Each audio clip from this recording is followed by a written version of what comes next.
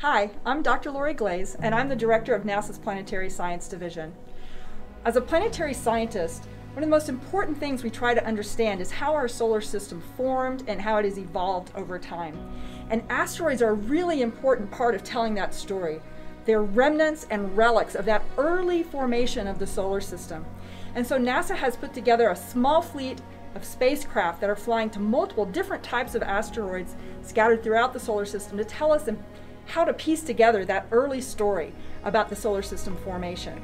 Of course, OSIRIS-REx is an important part of that story, and one of the most important things about the OSIRIS-REx mission is it's going to collect a sample and bring it back to Earth, which is going to allow us to study that asteroid and that sample for many, many generations to come. It's really exciting. Come along with us.